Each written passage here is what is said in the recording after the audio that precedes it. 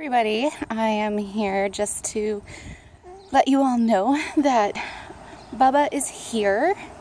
Um, he was born on May 19th, so last Thursday, and I cannot believe that he is a week old already.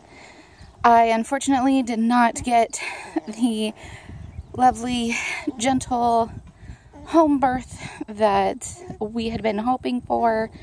Um, I'll upload a birth vlog or birth mm-hmm. story vlog.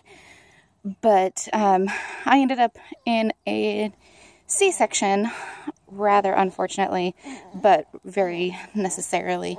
So um, recovery's going well. Obviously, I'm mountain walking, so recovery is definitely going well.